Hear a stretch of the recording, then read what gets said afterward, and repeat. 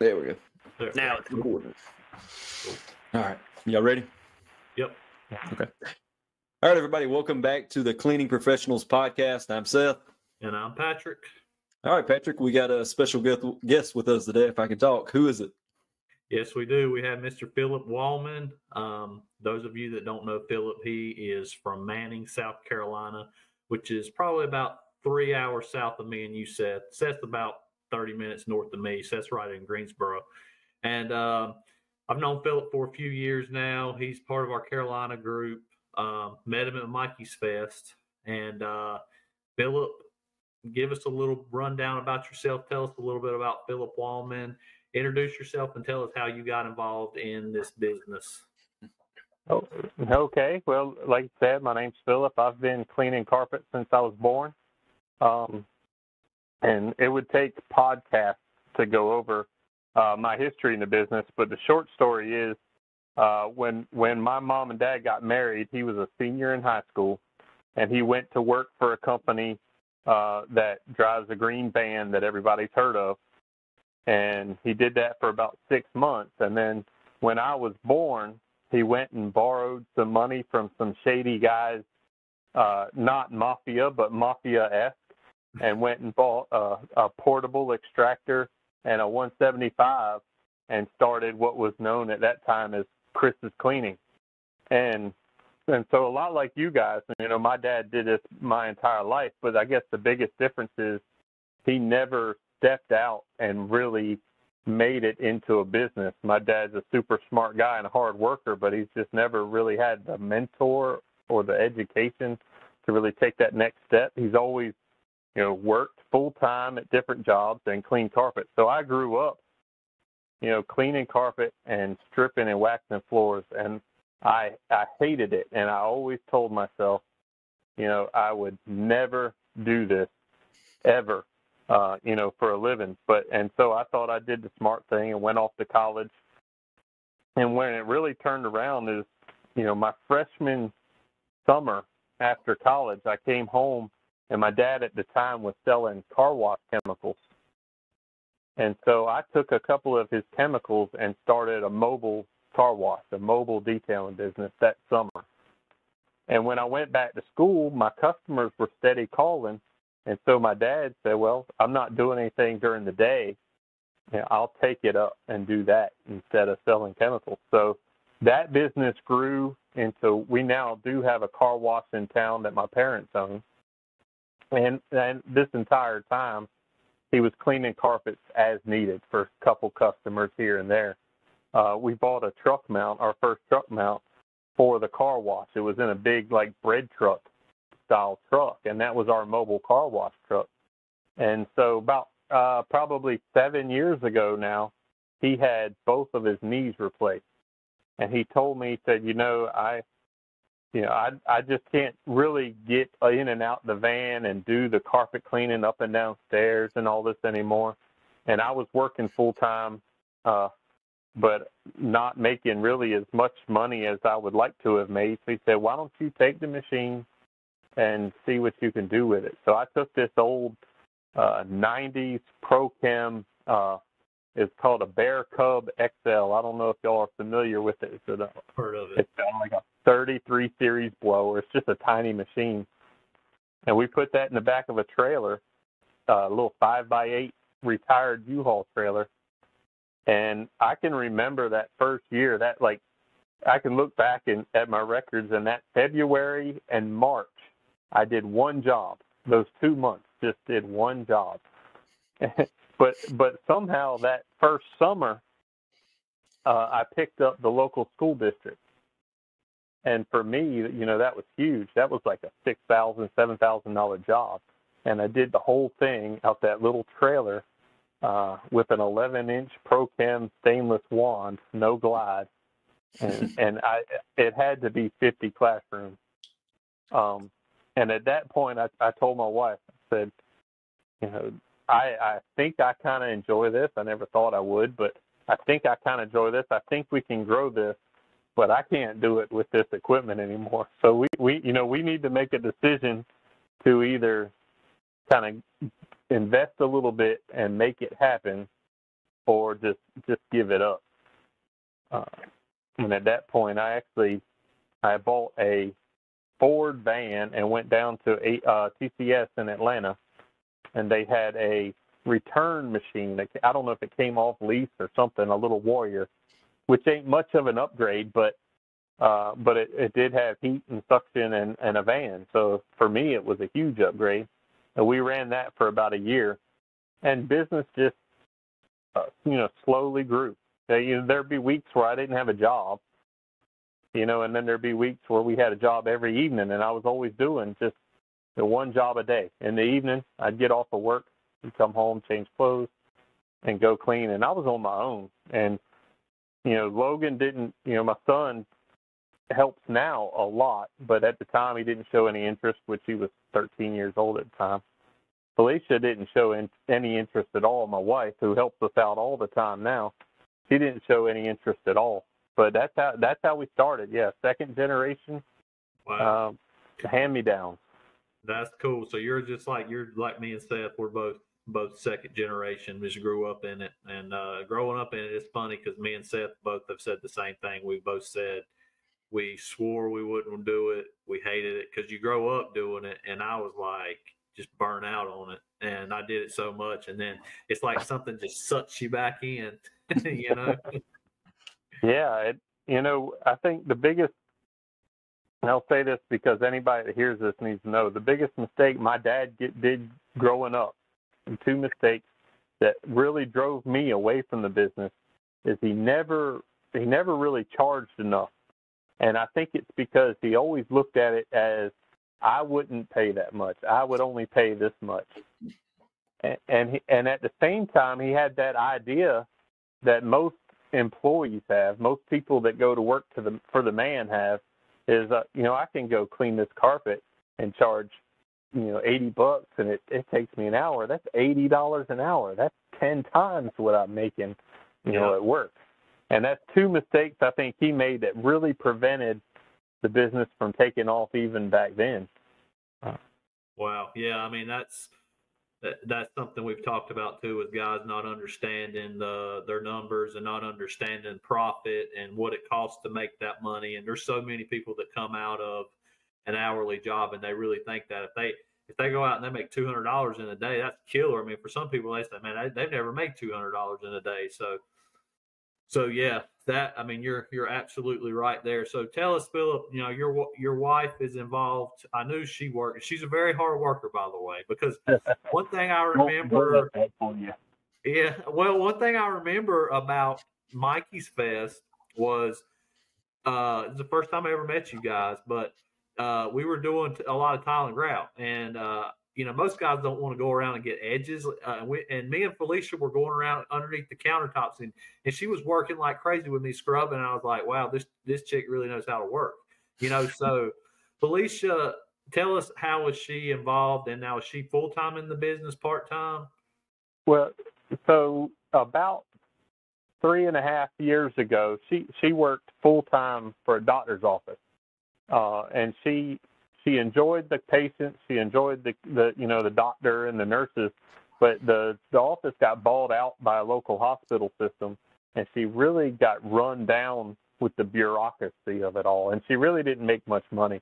And so I I told her then I said, listen, you know the the business is is growing steadily. I can't answer the phone when I'm at work. You know I can't you know I can't pick up the phone for the business I said, just just quit. Just go. Even if you just answer the phone, you're going to make up the income you've lost, you know, almost immediately. I said, you spend one or two days a week, you know, go out and drum up some business, talk to the local businesses, get our name out there, and and that's going to change. That's going to easily replace the income we've lost. And it took a little convincing, but she did. She did finally quit that, and and really Mikey's Fest was a turning point really for her and for her business because you know I grew up in it so I, I knew carpet cleaning but she didn't really know anything about the business and she didn't really know that there was this whole community out there you know that there were other guys just like us. And and I think she really grew to appreciate that what we were doing you know may seem you know to some people it seems you know mundane or or uh, you know people kind of I don't want to say look down on you, but but really it seems like a dirty job. And I think she realized that there's a lot of there's a lot of respect and a lot of effort that goes into this.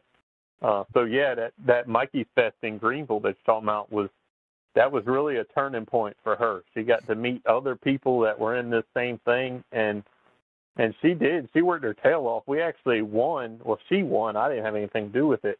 That hard. They gave it to her for being the hardest working, like a Stager Spotter's bag from Yeah. Harvard. And we we still use that bag in the van today. I think all the chemicals have been rotated through, but but yeah, see that really turned her on to the business. So now she we she the company does pay her hourly. Um, it, she, there's no way that she actually captures every hour she works, but but that way she gets a W two and she's paying some taxes and and paying into to Social Security and all. And so she averages billing out about 20 hours a week on the business. But that that also gives her the freedom, you know, for the past few years, you know, with kids in school and they're all playing sports and and that's given her the freedom during the day to, you know, run to the schoolhouse or go to tennis games or or soccer games and all that. So it's really freed us up for that. So she she loves it now. She didn't like it to start with. and and for you guys that are on the Facebook groups and all, she's really taken taken over she'll she'll run a wand in a heartbeat, but what she really excels at is the the customer focus of it. She can talk to anybody, and it's hard to tell with me when I get on here on YouTube or all. I might seem like an outgoing guy, but I am an extreme introvert. I cannot talk to people like in person. I have a hard time with customers, and that's the one thing she excels at. And it's the one thing my younger guys, like Logan and Austin, that help me out, they're not good at it. So up till, you know, here coming up soon, during the day, she could take them and started knocking out one, two jobs during the day. Uh, and she handles the customers and kind of supervises the guys, and they do a terrific job. Um, and that has really opened us up. So yeah, she's a she's a very important part of the business, even though she may hate it. Wow, cool. Well, Seth, I don't want to hog Philip with all the questions. What you what you got? You got some questions for him? Yeah, you may have mentioned I got two questions, but how old did you say your business was?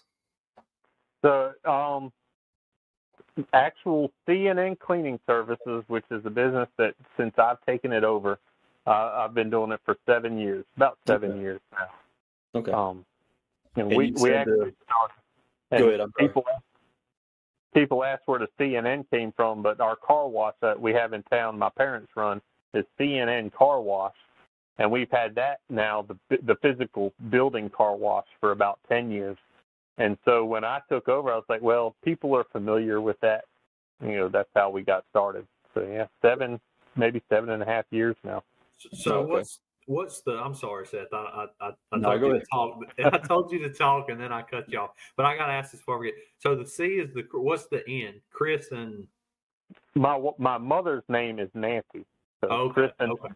Yep. Yep. So that's Okay. where it comes from. We pick up some of that multi generational idea, and you know, I get people ask me all the time, "What's my affiliation with the car wash?" Well, you know, my parents run that for for now. yeah. All right. The second question I was going to ask you, you mentioned your YouTube channel. What is the name of it, and uh, how long you been on there?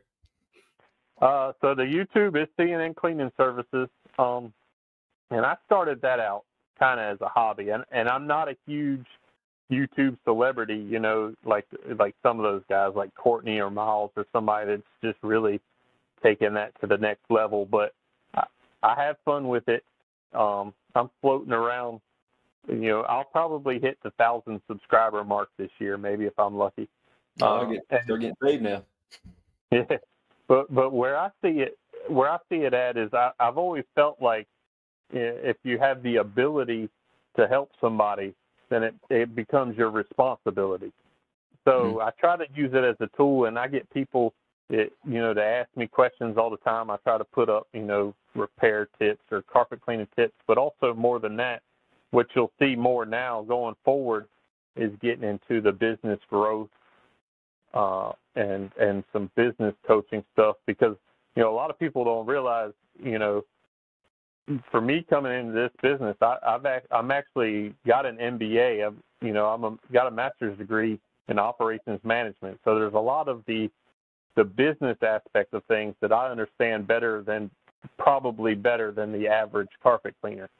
Uh, so that's kind of my goal is to use that more towards the advancement of of people's business, not even necessarily related to carpet cleaning. That just happens to be what we do to get there.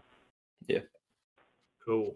Yeah, I mean that's the thing. There's so many people, so many guys out there that are cleaning that you know they can't get it to the next level just because they don't have the mind for it. They've never been taught. They've never, you know, so people can use those tips because you know when it comes to this industry, I mean, there's a ton out there for this is one thing me and Seth have noticed is there's a ton out there for the actual uh, knowledge about the process, and, and you can find out a lot about you know what chemicals to use and what tools and what procedures. But then when it really comes to okay, how do we manage? How do you manage your business? What are some of the strategies? What what about marketing? What about employees? What about all these things?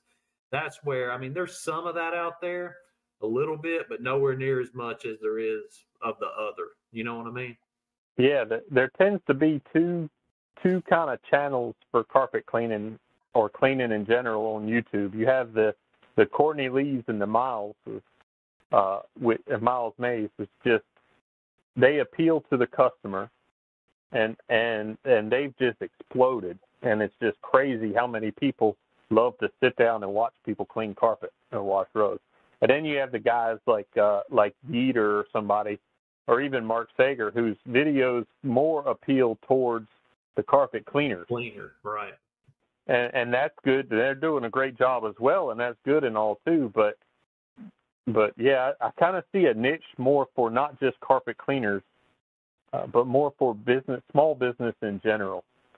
Uh, you know, along the same lines, I'm trying to get started here in my hometown, kind of a get together, a meetup of small businesses, those guys that have you know, five employees or three employees or less or want to be.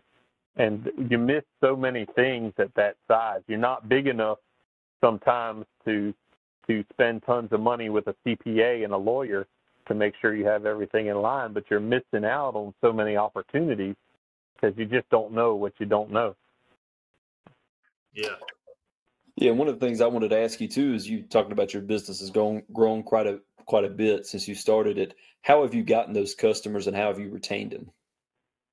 That's a great question. So, um, I don't spend. I, I spend less than five hundred dollars a year in advertisement, and most of that is in the form of uh, we sponsor our local school sports teams, so we have the signs on the sports field and things like that. Things that in themselves don't necessarily generate customers, right? You do it so people kind of recognize your name, but but nobody's sitting at a high school football game and saying that's the guy I'm going to call. Yeah. Most of my customers come from word of mouth, and um, like I shared on the Facebook page the other day, I get one person in in our town that says, "Hey, I'm looking for a carpet cleaner," and 10, 15, 20 people immediately respond recommending me. And it's taken a long time to develop that reputation. Uh, but I live in a pretty rural area. The county I service only has about 35,000 people, and everybody knows everybody. And and because I was working all this time, and and carpet cleaning wasn't my sole income, I had the ability to take my time and slowly grow that customer base. I wasn't out there trying to trying to run a bunch of specials to get my name out there real quick. You know, I just make sure that every customer that we service is completely happy so that when their neighbor asks them, "Hey, who was that guy, you know, that cleaned your carpet?" I want them to know without a doubt that it was me. Uh, and we we have I am fortunate in a way that there's there's not a lot of competition where I'm at. Um, so there's a few guys, honestly, I've tried to reach out to them because I try to be just like the two of y'all really share a market, but yet you get along great. I try to get along with the guys in my market, a lot of them just kind of just kind of throw off to the side. They don't really want to have anything to do with you, and and I, you know I'm there to help anybody, but uh, but yeah, all of my customers now we've grown really just very slowly. I said first year we'd go weeks without a job, but when people request, hey, hey, who can help me with a carpet cleaner? I want everybody to know that that we are the solid choice, and so far that's worked out real well for me. That's good, and you're you know that's common what you described about the cl- other cleaners, and you know most. I have a relationship with a few cleaners in my area. Seth's one of them, but the majority of cleaners, and I've said this before on the podcast, and I've made videos before, live videos before, where I've talked about it, how important it is to network with other cleaners in the Carolina group. But the truth is, most people do not, out of fear, out of uh, whatever you know there's a, a, a, lot of reasons. Sometimes they're worried that you know you're going to try to take their customers or they're worried that they're not going to know as much as you or sometimes it's just flat out animosity. I mean it's like that's common. Most people you reach out to that are other cleaners they just don't I, don't know why cleaners are like that but they just are i mean it's a real competitive thing the mindset is wrong um, so yeah that's that's really common so let me ask you this like as far as your area um, I know you said it's pretty pretty rural, pretty small. Do you um, like? Do you ever see yourself going into? Is there an adjacent area maybe that you would see yourself going into to continue to grow or try to seek out a certain type of customer? Because I know like you're really wanting to get into, and you're getting into, which we'll get into that later with the rugs, with your rug setup, which is, I mean, I think you've done an amazing job with your rug setup. Do you is there another market you feel like you might have to go to to seek out those type of rugs eventually?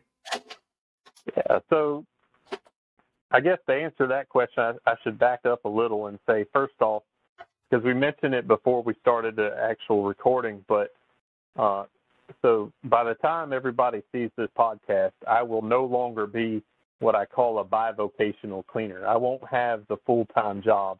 Um, I'll still be working out some notice and all, but actually, uh, you know, the, where I sit at, I don't have anybody that re, that I report to, and my boss is coming in actually tomorrow.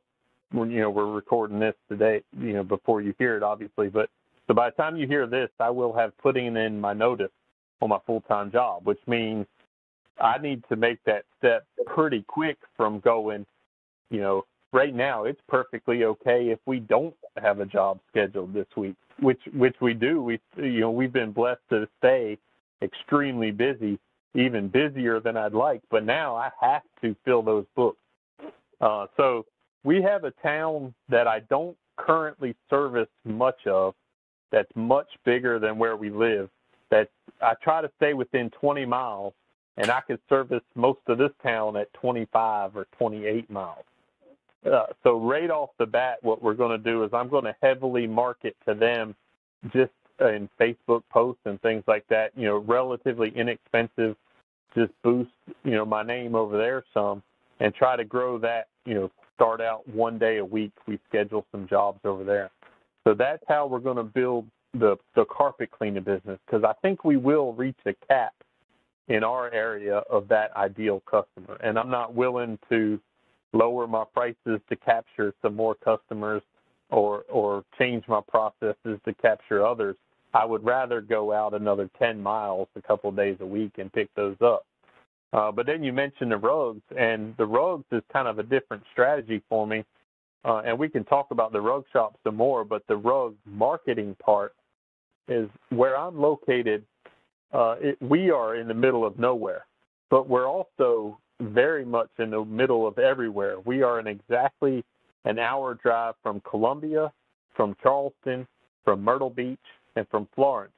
So basically, the four biggest cities in South Carolina, with the exception of Greenville, you know, we're an hour from. Right. So we're basically perfectly set up for for a, a good route for the rug shop, and that's kind of the route I want to go is to have you have a van dedicated to just build up relationships with cleaners in that area, and then one day a week go out and pick up rugs and and bring rugs back. So that's kind of the goal for that. The, um, because our area, we will hit the ceiling for the rug shop very very quickly. It's just a it's a reasonably low income area. There's just not too many customers out there uh, for the rugs. Yeah, and, that, you know, and that's that's kind of that's kind of what I was getting at. And, and first off, congratulations on taking that step because that's huge. I mean, that's a that's a huge step to make. That's a huge step for you guys, and I, I mean, I'm I'm super happy for you. Uh, that's awesome.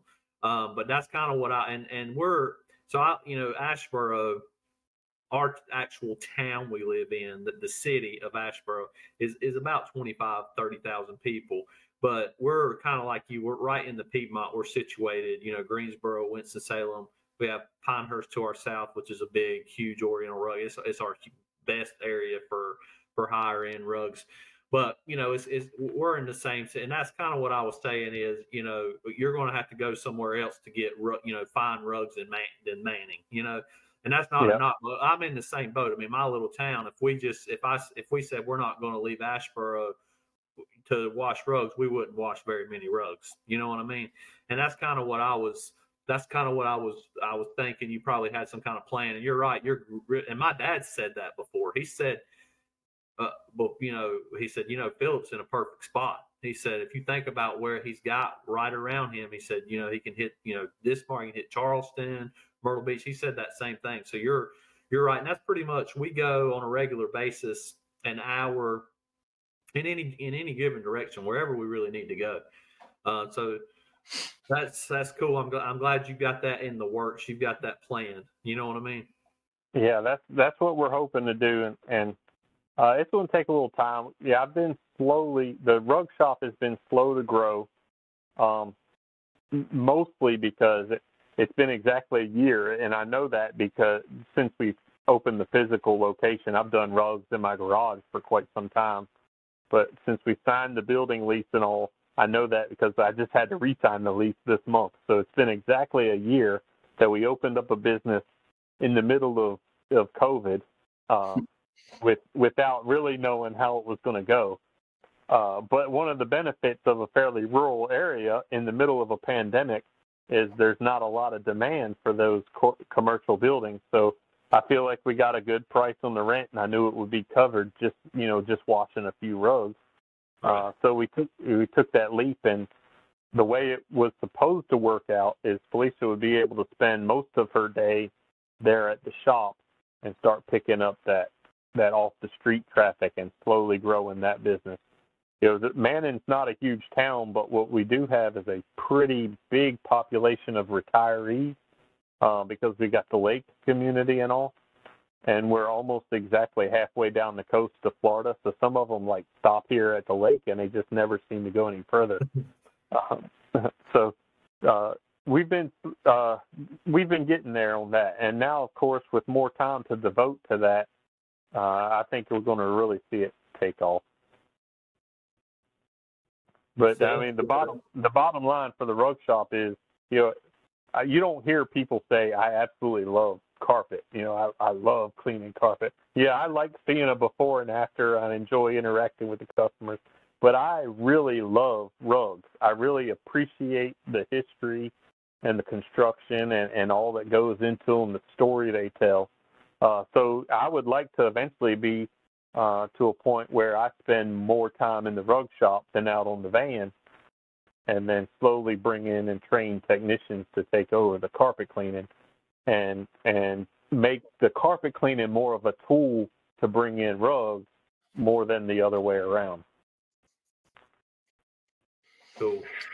Yeah, that's what I was going to ask. Where do you um, where do you see yourself in your business in five years from now? And you kind of already sort of answered that, but I'll let you further elaborate. That's a great question. I, I have a book that I, I finished reading about a month ago called Vivid Vision, and I, I don't remember the author of it, but uh, it was recommended on a podcast I was listening to, and if any of you, uh, I, I would I would tell any business owner you should read that book because the the way it works is you really detail out where you want to be in five years, and you don't do it as oh I'd like to have this, I'd like to have that. You basically immerse yourself in what you will be in the future.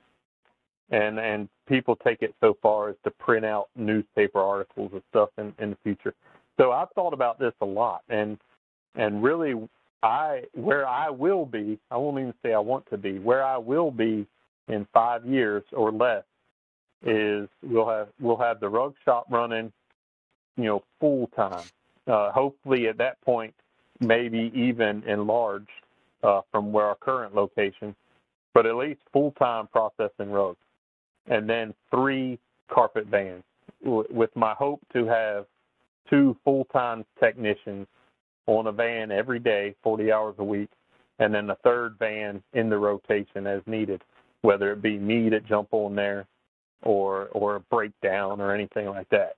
So that's where I, I'll be, uh, you know, in five years. And we, you know, I see, I see that two to three vans being the tipping point where we're really able to reach out into the neighboring markets and start taking those over, and then still being able to devote enough time to the rug shop. And and then there's another kind of aspect we haven't talked about is uh, I kind of accidentally uh, became the the dealer or the representative in the U.S. for these uh, Turkish machines that I use. Uh, and so that'll be a big part of our business, especially in the next year, if the logistics of getting stuff overseas would settle down a little bit.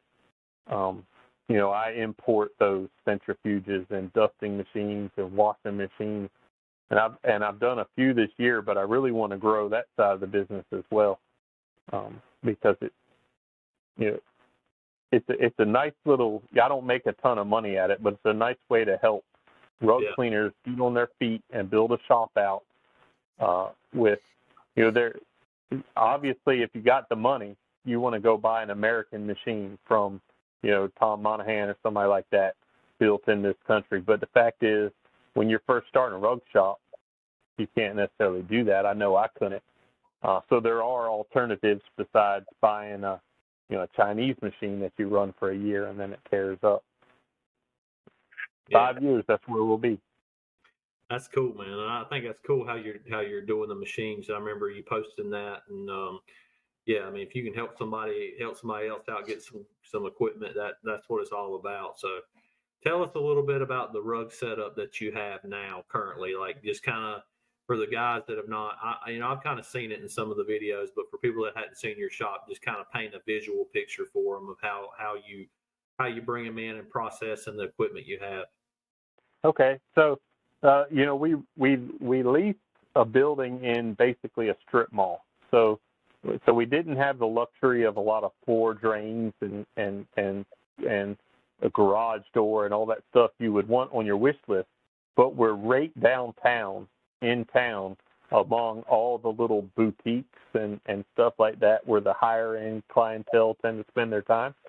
Uh, so it's 20, 2,400 foot. It's just a long building, 24 feet wide, 100 feet long. Hmm. Because we didn't have the luxury of building a wash pit, I bought a Versa wash pit, uh, which is the like the plastic liner with the risers, and and run that through a sump pump, and then I have a an automatic bed duster that's a ten foot, 10 and a half foot wide bed duster, and a and a and a 10 and a half foot long centrifuge, and then of course we have a smaller manual duster for the bigger rugs. Uh, but the process kind of works is, you know, much like anybody on a smaller scale, we bring in the rugs, we take pictures, do a good inspection, dust it. You know, if it needs a you know a pet treatment or something like that, it gets done and then washed, and then uh, you know spun in the centrifuge. And right now, what my shop lacks actually is I don't have a drying room set up, uh, and it's not because we don't have the space. It's that right now we haven't had the huge amount of rugs coming through where it was a requirement and I just haven't had the time to do it. Yeah. so we right now we're spinning everything and basically drying flat on the VersaWash floor, which works well because they you get a lot of airflow under that floor right. as well. So it's still it's it's it's especially being where you're at this time of year, it's probably it's probably like especially when uh, on the wool rugs and stuff because I know you do you probably do some synthetics too, but on probably on the thicker wool rugs with the humidity and everything. It's probably uh, what's your how long does it take you to actually get one dry? Not not very long at all. One of one of the benefits of being in that strip mall is our entire building is climate controlled. Okay. Uh, okay. so I didn't realize. I was have- I was thinking it wa- it wasn't. Yeah, I was like, man, that's got to be Yeah, tough. so we're working in the air conditioner all day long, so we oh keep man, it. that's awesome. Yeah, it's nice. Uh, but we also have a dehumidifier running in the shop all the time, so we keep Okay. a humidity level in the shop of 50 degrees or 50 percent humidity, and and normally the shop stays you know 70, 75 normal air conditioner temp. And then if we have a lot of rugs to dry, then I can either cut on the heat. We can heat the whole building and still run the dehumidifier, or I can I have a smaller room that will eventually become the drying room that I can run a heater in and the dehumidifier. But uh, normally, if we if we wash a floor full of rugs today, run the dehumidifier and air conditioner, get the humidity out. After the centrifuge, you know, there's not a whole lot of moisture left. When we come in the next day, they're good to go. That's awesome. See, I didn't realize that your whole space was it was uh, you know, was uh had you had uh your AC, you know, in the that's awesome. That's huge. That's huge there, man, for sure. I was thinking It's when I saw it in the back, I was thinking it was probably you know uh, no temperature control in the space, and I thought I know that that's that's hard whenever because especially this time of year in the south, you know the humidity is just oh, Oh yeah, we've seen this this week. I don't know about you guys. You're a little further north, but this week we were pegging at 104, 105 degrees during the day, Uh, and the humidity levels are sometimes you might see 80% humidity. So yeah, it is it's just crazy hot. So it's really nice when you get a rug day where you can work in that shop. yeah. That's a I used to have a buddy. He was a painter, and he would uh, he went all over the the state and uh, and North Carolina, well, really all over the country. And he had a- the uh, he had a contract to paint all the tractor supplies. And he used to always tell me the lowland of South Carolina was the hottest place on earth. That's what he used to say. He used to I'm- tell me he would say know. everywhere I've been. He said I've been all over this country painting. And he said I'm telling you. He said because he was like in Florence or somewhere. He said that's the hottest place on the face of the earth, just because uh, I mean, it's just the humidity. Yeah, we we have some family down in Florida, and they always talk about how hot it is, you know, down there, and they'll come up here and and they just can't handle it. And and I tell them, you know, we're just we're just far enough off the coast. We don't get the luxury of a sea breeze. Yeah. We just got huge humidity, and I mean, you're soaking wet when you walk out the door. yeah. Wow. Seth, you got any more questions for Philip? Yeah, I got a couple of uh, just kind of off the off the wall kind of questions. One is uh, you kind of already mentioned one book you read, but any other books you uh, you're reading now or you recommend for our listeners to pick up and read? Sure. Um. Well, definitely, like I said, the Vivid Vision. I wish I knew the author. And then another one I always recommend to any entrepreneur entrepreneurs is the E Myth. The E Myth Revisited um, is a great, just all around business book to, to take you out of that mindset, like we talked about earlier. Of I just I just made eighty dollars this hour, so you know, it really makes you step aside and realize that that probably 80% of carpet cleaners don't own a business, right? They just own a job. Mm. And so that book is, that book will really put you in that frame of mind of how to get out of that. And What about a podcast? What podcast you listen to? I, I have recently been, well, of course, I listen to the Cleaning Professionals podcast every week. I, Nice. Yeah, I told you, I told y'all before we started. I I really do enjoy this podcast. It's something our industry needs. But I've also listened. I listen to a lot of real estate uh, podcasts um, from Bigger Pocket uh, Real Estate, um, which is actually, you know, I don't currently uh, invest a lot in real estate, although that's coming. But that's where I get a ton of my just general business ideas and inspiration ideas from is those guys because those real estate guys they just always go hard 100% so uh, i've been listening to a lot of bigger pocket podcasts um, you know i spend i spend about an hour and a half a day just driving back and forth to work and that's all i do is listen to podcasts and hmm and and that's pretty much the biggest ones. You know, there's there's several more little ones out there, to different TED talks and stuff like that. But but yeah, you guys are the most important one by far. um, so eh, how is Felicia with the jump and everything? Like, is she is she pretty cool about it? Is she nervous about it? Is she like, I mean, what's what's the atmosphere like? Well, if she's nervous about it, she hadn't said. Uh, but what she told me, I, and it's pretty recent development. Like I said, I never really planned to leave my full time job of my own accord because uh, I mentioned I'm in research and development, and what normally happens is you'll get a company direction change, and they'll decide that you're not really of benefit anymore, and they offer you a, a settlement package, and you go away. And so for the past three or four years, I've just not really loved my job, and I've really just been working till that day comes, you know, till they decide that I'm no longer wanted. But I came home probably three or four weeks ago, and I told Felicia, I said, "Listen, I can't I can't do it anymore. It's got to change. I said I'm, I'm miserable. I'm unhealthy because I'm just not taking care of myself very well. I'm spending seven or eight hours behind a desk wasting time when I just know that if I was to spend that seven or eight hours developing our business, just you know, I've been averaging 15 hours a week and we've grown to the point we're at. Just imagine if I invested 40 hours a week you know, what our trajectory would look at.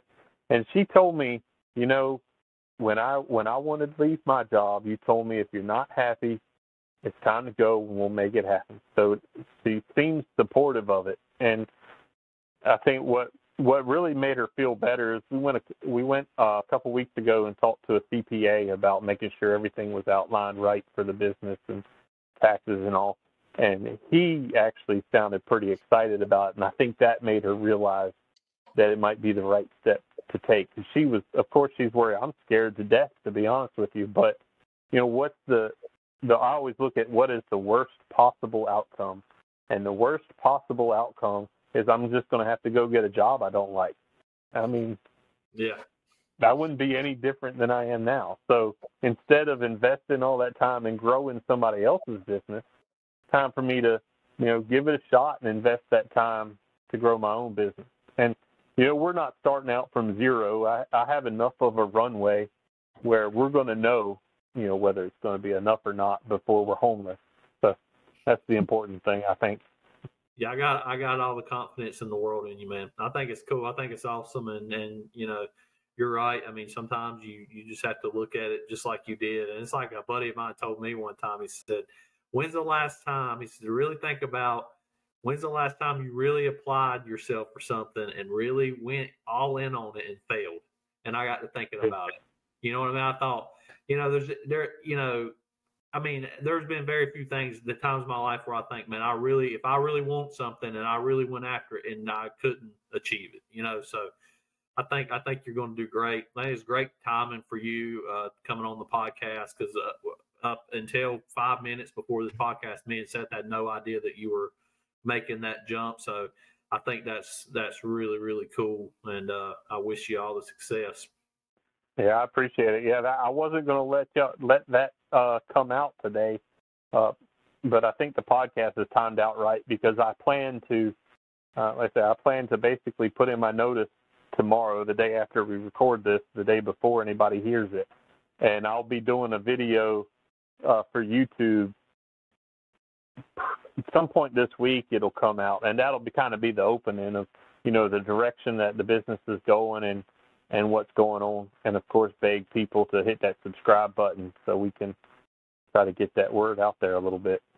Well, if you want to, uh, Seth could could send you the link when we get it finished up, probably later on tomorrow, and you can just forward it to your boss and just say, "Hey, man, listen to this." uh, I wouldn't. I wouldn't do her like that. I say one one of the things I, I I am going to miss is I I do like the people that I work with. Uh, you know, and I like what I do. I like the people I work with. I just don't like who I do it for anymore. So, time to make a change. That's cool. Seth, you got anything else from Mr. Phillip? Yeah, I thought about asking him. You know, we used to have a segment, uh, tools we're loving right now, but Patrick fails to remind me to do that all the time. So, what tools Yeah, are you do. liking that you're really into right now? Well, I think the the the default answer for me really has to be the zipper.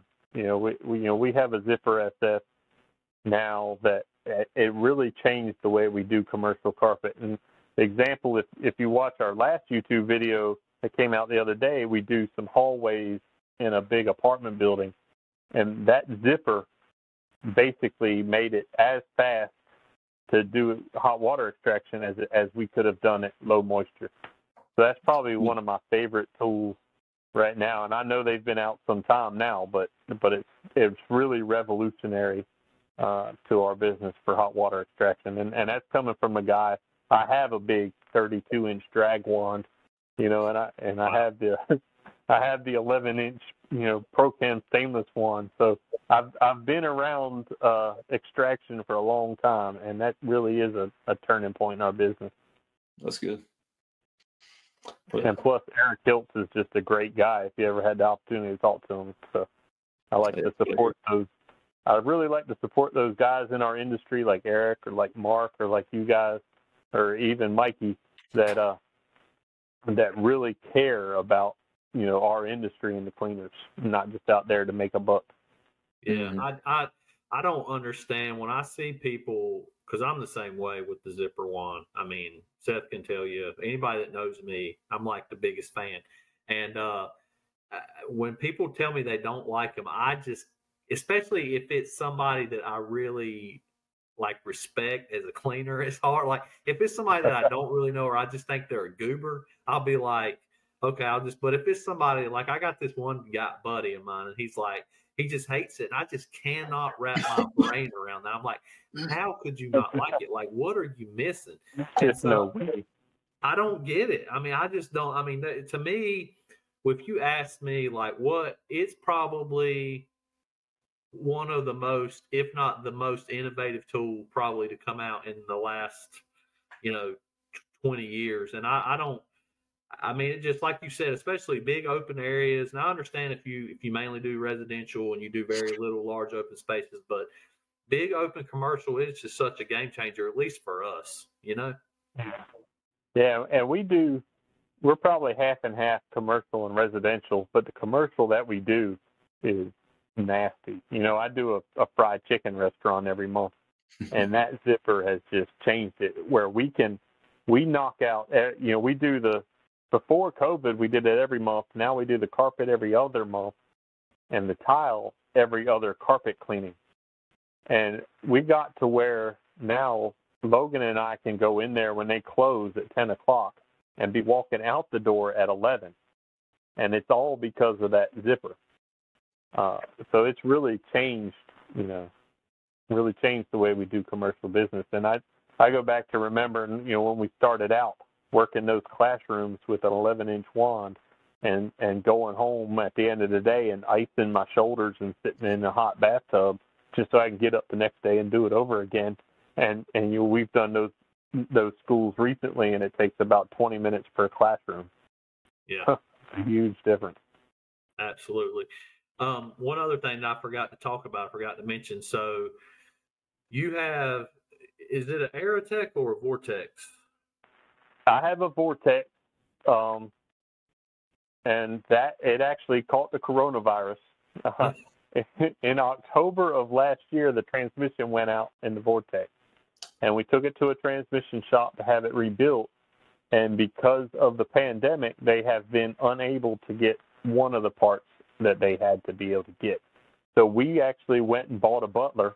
I call it the baby Butler in our videos. It's a 99. It's an older unit. We bought. We actually drove up to Delaware and bought it, pretty much hmm. sight unseen, and drove it home and put it to work the next day. And the goal was use it for two or three weeks. We'll get the vortex back.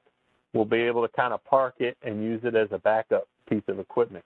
Well, the vortex is still sitting in that same transmission shop, still waiting for parts from COVID, and the Butler has been running every single day, nonstop. So Wow.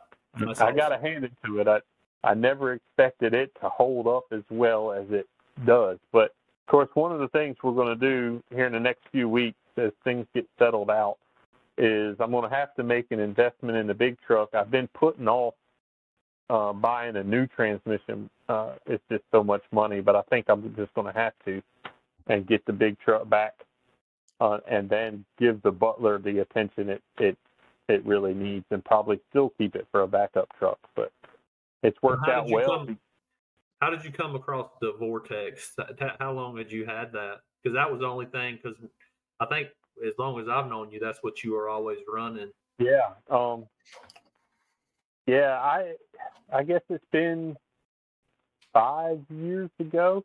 So I, I ran the TCS unit for about a year, and it just really wasn't big enough for some of the commercial jobs we were doing. Like the, you know, I got the schools contract every year, which was just that we had you know 400 foot hose runs at times.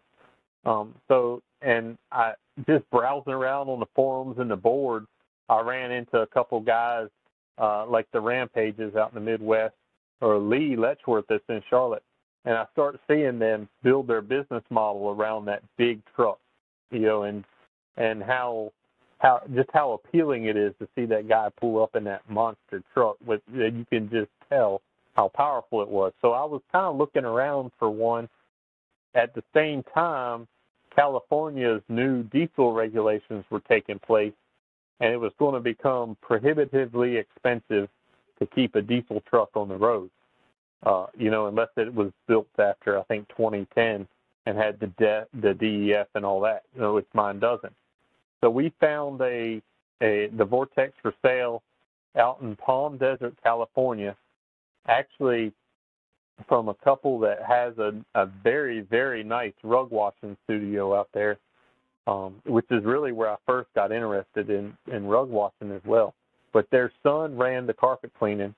He had the Vortex, and he decided he was going to basically take off in an RV and travel the country. So they were selling the Vortex. They couldn't keep it registered in California anymore anyway. So Felicia and I flew out there, picked it up, and drove it home. 3,200 some odd miles from Palm Desert, California to our driveway uh, in like four days. It took us four days because that thing tops out on the interstate about 65 miles an hour. And, and it, then you know, I got home and couldn't walk for two days, but it was, it, I love that truck. I really do love that truck. And, and when you pull into a customer's house with that truck and you roll that door up and, and you can just tell that, that it's somebody that cares about their equipment, you know, even though that, that's an older truck now, that's a 2007 truck. So e- even at that age, it's still, it's pretty intimidating. And it's nice to run, you know, dual wands out to three, 400 feet with no problem. So that's, Right. you know, that's been real beneficial to us if I can only get the poor thing back. Hopefully, hopefully pretty soon. Yeah, I bet. That's that's what I'm saying. I can't imagine going, uh, you know, from having all that capability. I know you're probably missing having all that capability, especially like on the big commercial stuff. Yeah, it, it has been a blessing in disguise though, because Felicia or Logan could never drive the big truck. Yeah, Uh, and so now that they're taking it out and doing jobs during the day, we'd have never gotten there if I hadn't broke down and bought that Butler in, in an emergency situation. So yeah, everything worked out to to the good, but it, it was it's definitely been a change for us. awesome. Seth, you got any other questions before we we wrap it up? No, I think that's it, man. I appreciate you, Philip, coming on. Oh, no problem. I appreciate it. Like I said, I love what you guys are doing. Love listening to the podcast. Uh, and if I can ever do anything for you or anybody that listens, just just give me a shout. Yeah, give us the name of your uh, YouTube channel one more time. All right. If you go to YouTube and look for C&N Cleaning Services, uh, we'll pop right up. I don't uh, I don't know how YouTube formats it. Slash CN Cleaning Services. I think if you pull it up directly. You can also find us on Facebook and TikTok under the same thing. Um, and you can also just you know search for me personally on Facebook. I'm not a hard guy to find. uh, send me a friend request and uh, or a message. And it, I don't know how easy it is for you to put show notes or anything, but anybody's welcome to give me a shout on Facebook or even send me a text on my cell phone if there's anything I can do to help any of you. I'll do my best to do it. Yeah, I'll try to put like a, uh screenshot of your uh, YouTube channel on the uh, YouTube on our, on our YouTube channel when the video airs. All right. And then Seth, who are we gonna have on next week? Oh, you want to make the announcement? Make It's the just a- announcement. Not that many people know who he is, so I don't know if we should say it or not. Yeah, We're gonna have Courtney Lee on next week. Courtney Lee. Oh wow. He's got one or two fans out there. And and uh, what were you saying about questions? Submitting questions to somebody. I know you said you were gonna make a post, right? Yeah, I talked to Courtney to make sure he was fine with it, and we're going to put it in the Cleaners Connect group. We're going to put a link where people can uh, leave a voice memo or email us with any questions, and he'll he's going to towards the end of the show kind of answer some of those questions because I know he's probably going to have a lot of questions for him. So be looking out for that. That's awesome. Court, Courtney is really the one that really just completely revolutionized carpet cleaning on YouTube. So Oh yeah. kind of- Yeah. kind of a hero Big of mine. I love him. I'm looking forward to that. hmm Well, he will be on next week. So, Philip, we really, really appreciate you, and uh, I wish you all the luck and uh, in the world. I know you're going to do great, and uh, look forward. Maybe I can come down sometime when, and uh, check the rug shop out in person. Yeah, absolutely, man. You're always welcome. Just give us a shout. All right, man. You have a good evening. All All right, Thank guys. You too. Thank you. See ya. Well, we got to stop the video first. There you go. Yeah. I was going to get you to do the tagline, but I couldn't remember what it was. I was afraid you was going to ask me. Never stop learning. That's it. Oh yeah, yeah, yeah. Uh, no, well, that was good, man. That went really good. Yeah, it did. 56 minutes. I'm trying to end the video. There we go. You're All still right. recording. Yeah, it finally stopped. So it took like 10 minutes to do the the 20 second video you did. So I imagine this is going to take all night. So I'm just going to let it download and go to bed. Mine still shows us recording. Down in the lower left. I don't know. There we go. Nah, Nah. Nope.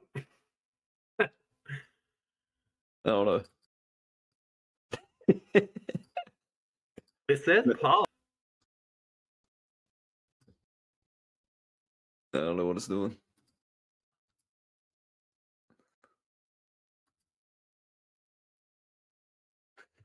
It's be a good blooper. Try and end it.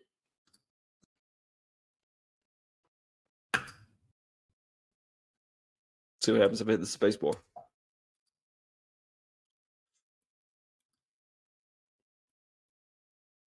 I just don't want it to mess up, you know, because it won't.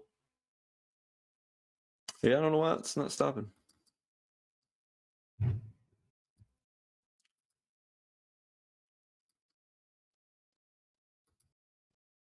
Shows us pause at the top, but I don't know. You hit pause and see what it does. Does it do anything? No. It won't let me. Guess because I didn't start it. Hit pause again.